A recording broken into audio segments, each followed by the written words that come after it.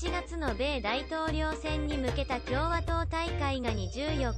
南部ノースカロライナ州シャーロットで開幕し、再選を狙うトランプ大統領、74歳を党候補に正式指名しました。新型コロナウイルス感染拡大を受け、各地からの中継やオンラインを交えた4日間の日程を通じ、リードを許す民主党候補のバイデン前副大統領、77歳への反撃に出ます。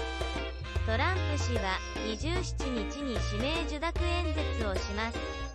トランプ氏は24日、正式指名後に党大会の会場を事前の予告なしに訪れ、米史上、最も重要な選挙に勝利しなければならない、と強調しました。また、共和党大会は、ペンス副大統領を副大統領候補に指名しました。